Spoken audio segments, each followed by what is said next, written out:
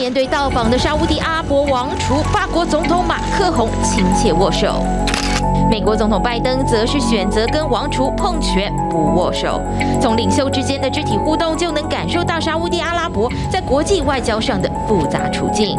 沙国王储与西方国家的互动都因为华邮记者哈绍吉遇害事件引发美法两国的批评声浪。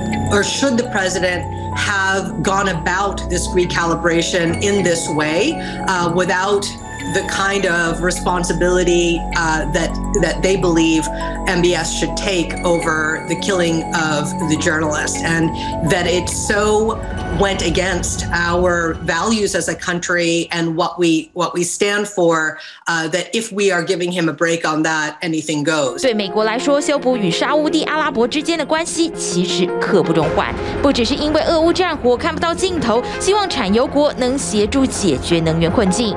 曾经。 在国务院处理全球穆斯林事务，还担任过穆斯林特别代表的潘迪斯，就点出了沙地阿拉伯对全球穆斯林社群的高度影响。What I uncovered was whether I was in Zanzibar or I was in Surabaya, whether I was in Malaysia, whether I was in Norway, didn't matter where in the world I was, that I saw evidence of Saudi Arabia funding and curtailing the way people think about their heritage, uh, their diversity of being Muslims, how it feels to be Muslim, and that was important. 潘迪斯强调，沙地阿拉伯透过宗教信仰传播出来的力量，其实已经根深蒂固，远比外界想象中还要来的强大。 不少极端组织所使用的教科书，其实都源自于沙地阿拉伯。美国积极打击伊斯兰教极端主义，更需要沙地阿拉伯。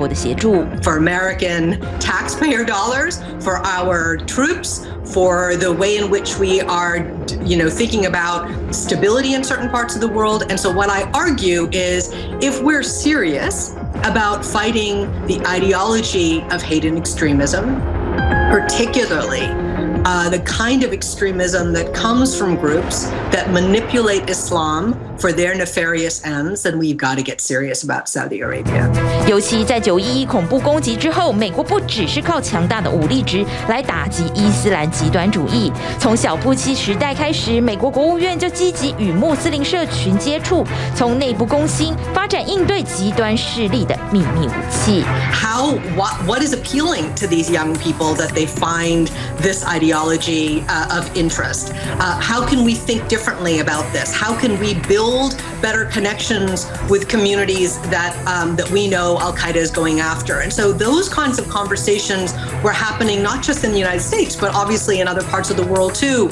We want to fortify, we want to put, we want to inoculate communities so that AQ could not come in and lure young people in. 九一一攻击不止影响美国对穆斯林社群的态度，远在太平洋另一端的中国大陆也 开始出现变化。I also had some really interesting conversations uh, with uh, non Muslim Chinese around the feeling of Islam in China and what had changed after 9 11. They perceived the Islam component as threatening now at a time when they never had before because of incidents that were happening around the world, the way they were, they were hearing about what real Islam was supposed to be, uh, a violence, and there was fear that was injected into the conversation.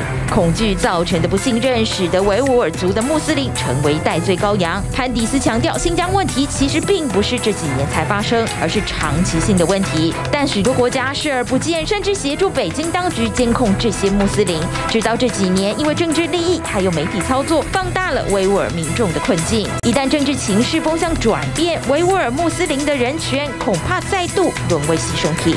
TVBS 新闻综合报道。想扩大国际视野，掌握趋势，请订阅专门报道国际新闻的 YouTube 频道 TVBS 国际 Plus，记得要开启小铃铛哦。